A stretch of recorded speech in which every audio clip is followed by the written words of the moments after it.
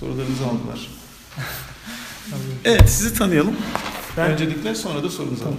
Ben Mehmet Manav, Yönetim Bilişim Sistemleri 2. sınıf öğrencisiyim burada. 2 yıldır burada biz de okumaya çalışıyoruz diyeyim. Sosyal açıdan tabii ki 2 yıldır hani... Niye çok... çalışıyorsunuz? Okunmuyor mu?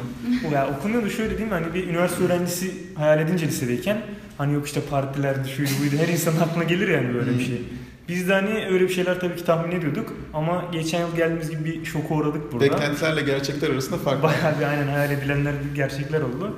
Bayağı bir o konuda şoka uğradık tabii ki.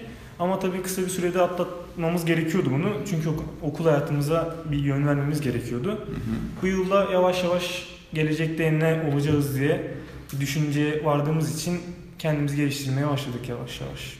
Peki. Buyurun sorunuzu alın. Tabii ki benim sorum da sizce Türkiye'de yönetim işlem sistemleri okuyan birisi yurt dışında nasıl bir iş bulabilir? Nasıl bir kaynak bulabilir? Veya... Tabii şimdi yönetim bilişim sistemleri bir eğitim. Herhangi bir meslek edindirme kursu değil. Dolayısıyla işle ilgili bir şeyler belirliyor hı hı. ama bu belirleme dikte etme anlamında değil. Dolayısıyla siz mesela yönetim bilişim sistemleri bölümünden mezun olduktan sonra çok geniş yelpazede e, değişik iş alanlarında çalışabiliyorsunuz. E, bu Türkiye'de böyle. Yurt dışında da aynısı geçerli. Yazılım alanı yönetim bilişim sistemleri için cazip olan alanlardan birisi. Oraya devam edebilirsiniz. Yönetim alanına devam edebilirsiniz. Ama benim genel olarak yani Türkiye için de bu cevabı veriyorum. Yurt dışı için de aynı cevabı vereceğim. E, yönetim bilişim sistemlerinin ne yazılım ne de yönetimde olmayan daha farklı bir üstünlüğü var.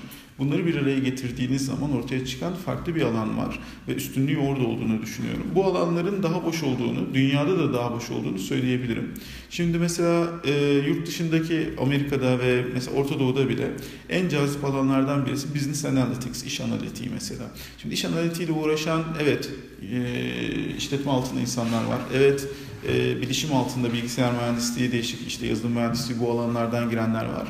Ama bu alanın en iyi eğitimini olan, e, bu konuda en faal olan alanlardan birisi de yönetim bilişim sistemleri. Aslında tam da oturan, o boşluğu dolduran bölüm.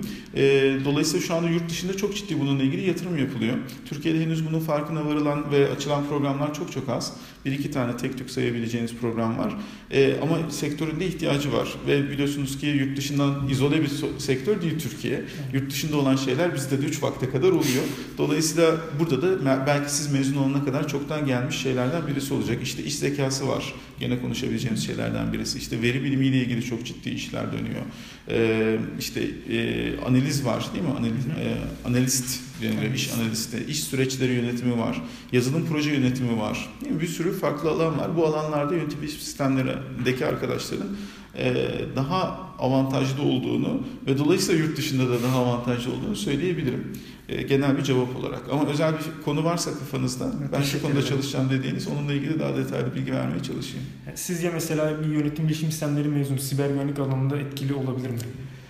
E, olabilir ama şunu söylemek lazım. Siber güvenlik alanında eğitim almıyor yönetim bilişim evet. sistemleri. Yani yakın eğitimler alıyor. İlla ki mesela programlamayı öğreniyor, belki bazı temelleri öğreniyor ama e, siber güvenlik uzmanının çıkacağı en iyi bölüm yönetim bilişim sistemleri değildir. Tabii ki. Mesela bilgisayar mühendisleri çok daha iyi eğitim alırlar bu konuda. İşte ağ teorisi alıyorlar, network protokollerini kendileri kodluyorlar, işletim sistemi dersi, kendisi bir işletim sistemi yazıyor. Şimdi o adamın işletim sistemi, kendisi işletim sistemi yazan, bir işletim sisteminin kodlarını değiştiren, kernel'ını değiştiren bir adamın işletim sistemi güvenliğini daha iyi anlamasını ve daha aktif olmasını beklersiniz. E, dolayısıyla o bölüm bu, bu işler için çok daha uygun. Ama bizim bilişim dünyasında genel olarak liberal bir sektörüz, özgür bir sektörüz, açık bir sektörüz. Herkese açık bu alan. Yani bir adam tarihten mezun olduktan sonra tarih alanındaki kariyerini bırakıp bilişim alanına girebilir. Evet çok fazla emek sarf etmesi lazım. Öğrenmesi gereken çok şey var. Ama öğrendikten sonra bir uzman olabilir bu alanda da.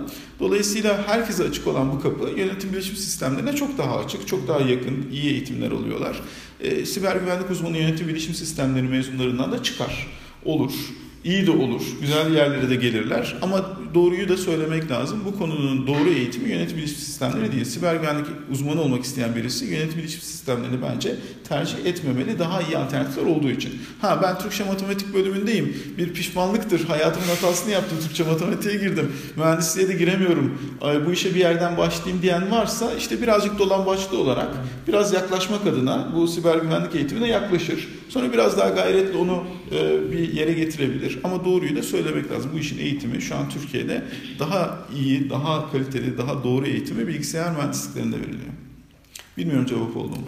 Teşekkür ederim tekrar cevap verdiğiniz için. Biz de teşekkür ediyoruz.